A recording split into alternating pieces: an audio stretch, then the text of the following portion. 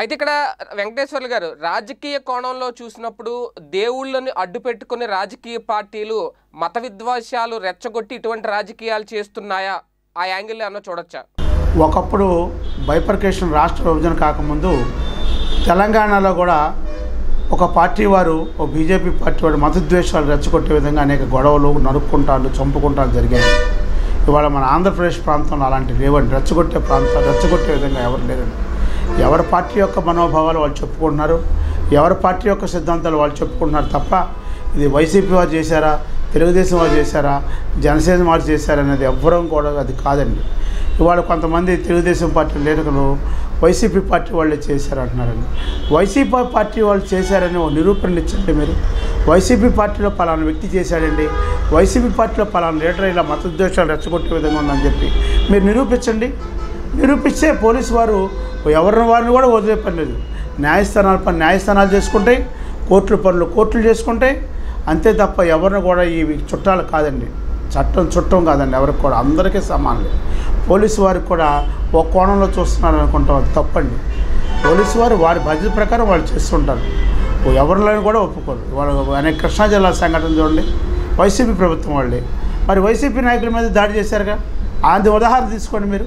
వాళ్ళు వైసీపీ వాళ్ళే చేశారని కాకుండా మీరు ఆలోచించేయండి. మీరు వైసీపీ వాళ్ళే చేశారనేది ఉద్దేశం ఉంటే తెలుగుదేశం వారు పట్టుకోండి. ఇది కూడా నేను చూపించండి.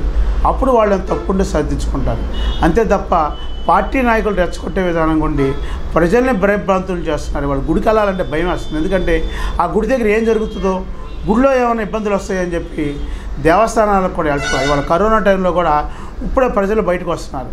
ఈ బయటకు వచ్చే టైంలో కూడా ఈ గుళ్ళు దగ్గర ఈ విధంగా ధ్వంసం విధ్వంసం చేస్తుంటే భయోందోళన తెలుతున్నారు. అసలు బస్ స్టాండ్లో అంతమంది ప్రజలు తిరిగే చోట ఒక చిన్న గుడికి రక్షణ లేదని అనుకున్నట్టు కరెక్ట్ అక్కడ ఆటో డ్రైవర్లు ఉంటారండి. ఆర్టీసీ డ్రైవర్లు ఉంటారు. ఆ చుట్టుపక్కల మన పరిసర ప్రాంతాల్లో కొన్ని షాప్స్ కూడా ఉన్నాయండి. అక్కడ ముందుగా సీసీ కెమెరా ఉండాలా? లేదా బస్ స్టాండ్ మొత్తం కూడా సీసీ కెమెరాలు ఉంటాయండి.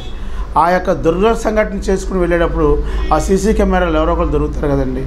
మరి ఆ విధంగానే పోలీసులు వాళ్ళ కోణాల్లో వాళ్ళు ఈరోజు కూడా బస్ స్టాండ్కి వెళ్ళి వాళ్ళ కోణంలో వాళ్ళు ఆలోచిస్తున్నారు. పోలీస్ శాఖను తప్పుపడాల్సిన అవసరం లేదండి. వాళ్ళు ఎన్ని చేస్తారండి? వాళ్ళ రాష్ట్రం పదమూడు జిల్లాల్లో ఉంటే ఒక యాభై యాభై వేల మంది పోలీసులు వేసుకోమనండి. ఐదు లక్షల మందికి యాభై వేల మంది పోలీసులు సరిపోతారండి. మనం కూడా సివిల్ పోలీసులా కష్టపడాలండి. మనం కూడా మంచి వ్యక్తిగా ప్రమా సమాజంలోకి వచ్చి పోలీసులు సేవ చేసి పోలీసు దగ్గరగా ఉండే విధంగా ఉంటే ఇలాంటి దొంగతనాలు కానీ అరాచకాలు చేయవు. మీరు కూడా ప్రజల్లోకి రండి. మంచి వ్యక్తిగా ఉండి ఇలాంటి సంఘటన జరిగినప్పుడు ప్రజలకు సమాచారం అందించండి. వాళ్ళు కూడా మీకు తొందరగా వస్తారు. మీరు చూసి చూడనట్టు వదిలేసేస్తే పోలీసులు ఎంతమంది కానీ సర్వీస్ చేయగలరు చెప్పండి అసలు. పోలీసులు చేయగలరండి. ఐదు లక్షల మందికి యాభై వేల మంది పదిలో లక్ష మంది పోలీసులు రెండు లక్షలు చేయగలరండి. మనలో కూడా రావాలండి. మనం కూడా దేశ సేవ చేయాలా?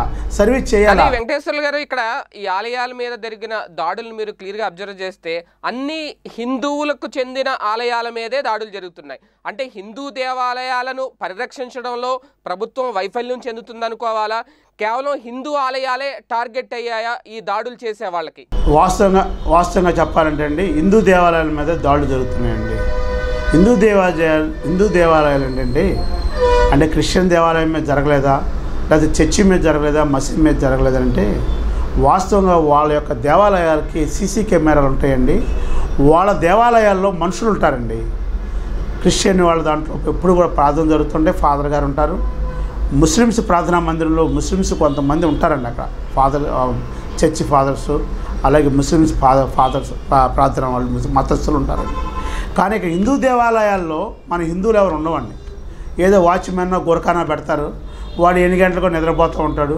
తెల్లారులేసా ఏం జరిగిందంటే వాడు ఏం చెప్పలేడు వాళ్ళకంటూ మన హిందూ దేవాలయాల్లో పెద్ద పెద్ద దేవాలయాల్లో సీసీ కెమెరాలు ఉన్నాయి కానీ చిన్న చిన్న దేవాలయాల్లో సీసీ కెమెరా లేదండి. ఇప్పుడు సుప్రీంకోర్టు గైడ్ లైన్స్ కూడా ఏమిచ్చిందంటే ప్రతి పోలీస్ స్టేషన్ కానీ ప్రతి దేవాలయాలు కానీ ప్రతి కార్యాలయాలు కానీ సీసీ కెమెరాలు వితిన్ పదిహేను నుంచి ఇరవై రోజులు ఏర్పాటు చేయమని చెప్పి ఒక గైడ్లైన్స్ ఇచ్చిందండి. ఇవాళ అందరికీ కూడా అన్ని చోట్ల కూడా పోలీసు కానీ రెవెన్యూ కానీ అన్ని డిపార్ట్మెంట్ దేవాలయాల్లో కూడా వేస్తుంది అయితే ఇక్కడ మతోద్యోదేశాలు హిందూ దేవాలయాలు రెచ్చగొట్టే విధంగా ఏమైందంటే మరి ఈ విధంగా హిందూ దేవాలయం మీద టార్గెట్ చేస్తున్నారంటే మరి ఏ మతస్థులు దాడి చేస్తున్నారు అనేది అది పోలీసుల యొక్క విచారణలో తేలాలి. ఇప్పుడు నేను హిందువుని అయ్యుండి క్రిస్టియన్ దేవాలయం వాళ్ళు చేశారా ముస్లిం దేవాలయం చేశారని అలాంటి మాటలు మనం మాట్లాడకూడదండి.